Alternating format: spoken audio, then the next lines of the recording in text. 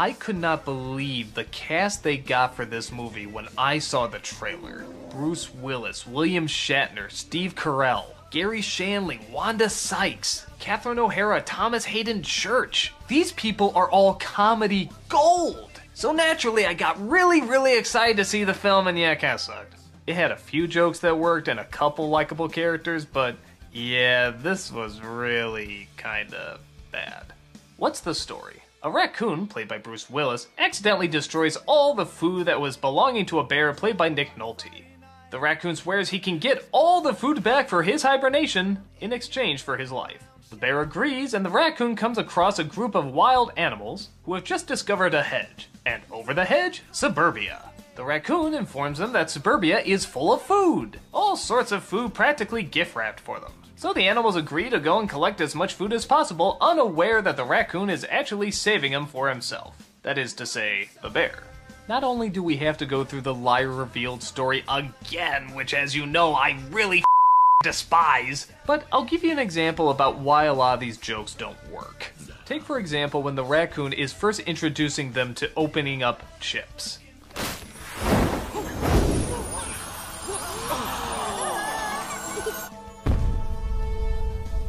Okay, here's why this joke doesn't work. First of all, they use it again. Now, there it works because that's something negative happening to them, and it's so large that when you back off and show the planet and show the impact it's having, it's showing how much misery it's spreading. That's why that joke works. But if you're just opening a cheese snack, and if anything, it's just supposed to be something good, why would showing it from Earth matter? There's no misery involved, so there's not really any point in emphasizing it. At least not to that degree. And so much of the rest of the story is just building up character traits that are just gonna come into the story later and well, not really make us laugh. They're just playing into the story. The story we already know because you set it up in the beginning and we know exactly what's gonna happen. None of the celebrities really lend much to the characters. I don't know if they weren't allowed to, or maybe it wasn't a good script, or I don't know, but their talents surprisingly don't bring anything. William Shatner is a possum who has to pretend to die all the time. I guess when you think about it, that could be pretty funny because we know what a hammy actor he is, but if it's animated and we're not really seeing Shatner, yeah, you kind of realize why this joke wouldn't work. Wanda Sykes is a skunk who has to be made to look pretty later on. Again, if you're not seeing Wanda Sykes, that doesn't really work either.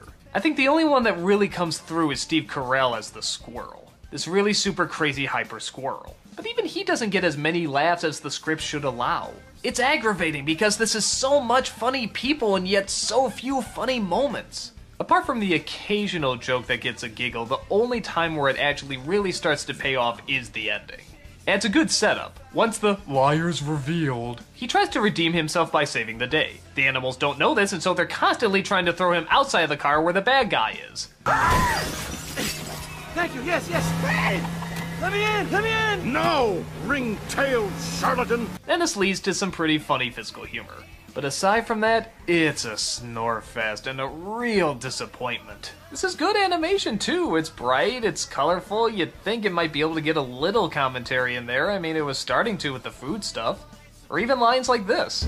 No, I can talk. I'm just driving. This could have been like a great satire of suburbia or a great animal point of view sort of film, but it's just dull, predictable, and like I said before, not that funny.